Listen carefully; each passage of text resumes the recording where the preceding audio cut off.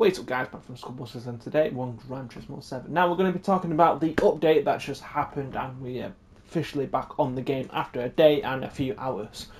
So let's get straight into it. So 0. Point, uh, sorry 1.08 fixed the whole game that because 1.07 broke the whole game because um, you could not progress to the world map which is just right there you could not progress to it, so it was impossible to play the game. So they just decided to, to extend the whole update and make it a 1.08 update.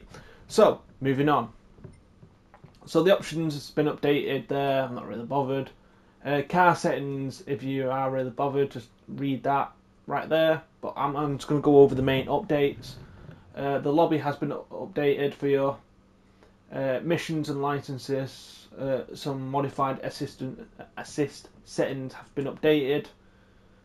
Uh, missions, some events have been stuck to. Uh, the wind speed's been stuck to zero, or set to zero, should I say. And here we go. Okay, so we're going to be talking about the licenses.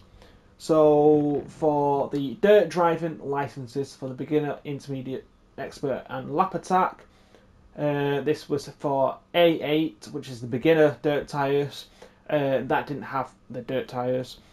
Uh, for IB5, the dirt track or the dirt license did not have dirt tyres. For IA3, did not have dirt tyres, and this has all been sorted. And same goes for S5, the one lap attack. So all of them now have dirt tyres, and it's the correct tyre to be on to get gold. Okay. The next one we're going to be talking about is the missions. So the first mission that's been updated with dirt tires again is the Jeep Night Safari. That's with the uh, with uh, Willys Jeep, I think.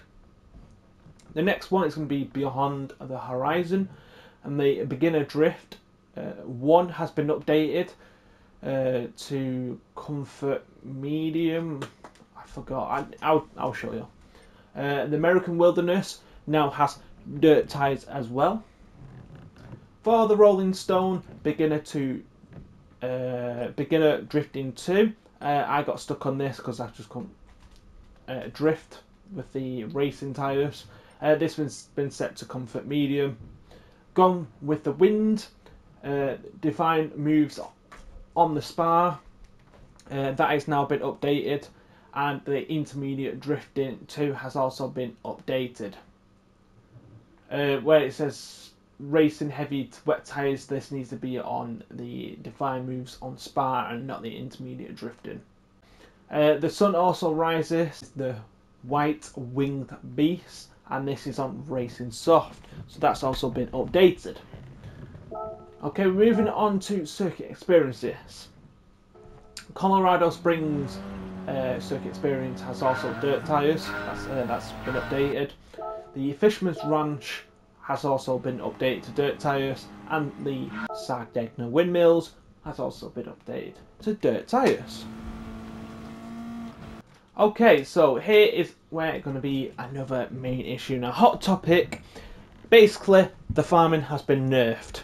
You was able to do 1.4 uh, per hour. That was the max, or you could get 1.5, 1.6 at max on Fisherman's Ranch depending how you either was on Sagna, Sardegna Windmills, which or Fisherman's Ranch, which one's easier for you. Um, this has all been nerfed, it's all been slashed, and it's very annoying. But other circuits have been increased, but I still recommend doing the dirt championships. You don't have to do the dirt championships, you have to do the races instead because the races are more you get better outcome and you can set that easier and you get uh, you could pretty much do it, and I'll show you the gameplay in the background.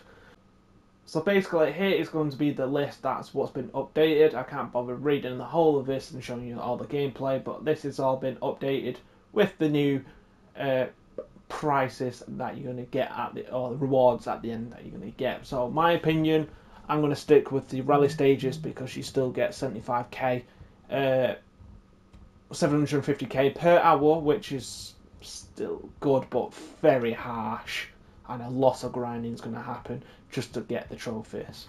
And that is pretty much it. So we've got GT Auto has been updated. The garage has been updated.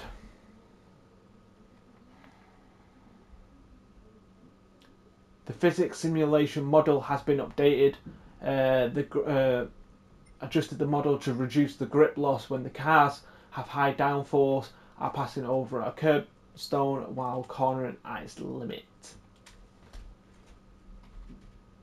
And other things have been updated as well, as you can see right here. And that is pretty much it. So thank you for tuning in. Stay tuned for more, and I'll see you all soon. Adios.